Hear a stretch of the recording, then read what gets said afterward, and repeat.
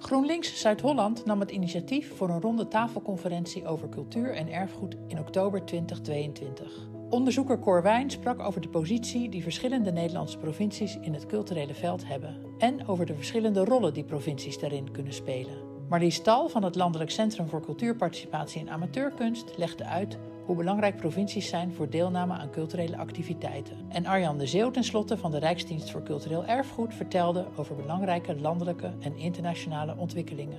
Daarna ontstonden levendige discussies over al deze onderwerpen.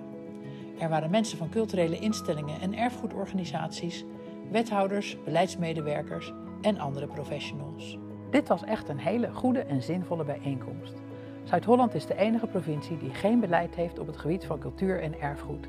En als grootste provincie van Nederland kan dat natuurlijk niet. GroenLinks heeft zich de afgelopen vier jaar ingezet om cultuur en erfgoed weer goed op de agenda te krijgen in Zuid-Holland. En je zag aan vandaag dat dat is gelukt. We hebben heel veel informatie en voeding opgehaald vandaag om de discussie verder te voeren en het beleid daadwerkelijk te gaan formuleren. Daar zie ik naar uit.